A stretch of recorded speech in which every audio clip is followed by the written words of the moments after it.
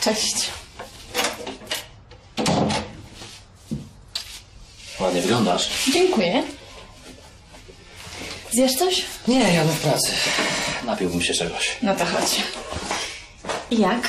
Możesz zostać? A to zależy, co będziemy robić. A co, dlaczego nic nie mówisz? Bo nie wiem, co powiedzieć. A, to znaczy, że nie wiesz, co będziemy robić. Pewnie, że nie, bo to nie tylko ode mnie zależy. No wiesz, ja najchętniej...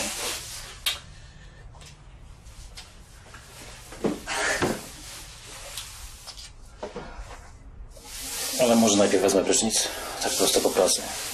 Mogę przygotować ci kąpiel. A gdybyśmy razem się wykąpali? Nie w mojej wannie. Dlaczego? Za mała, to właściwie takie pół wanny. Od biedy byśmy się tam zmieścili, tylko z wodą już gorzej.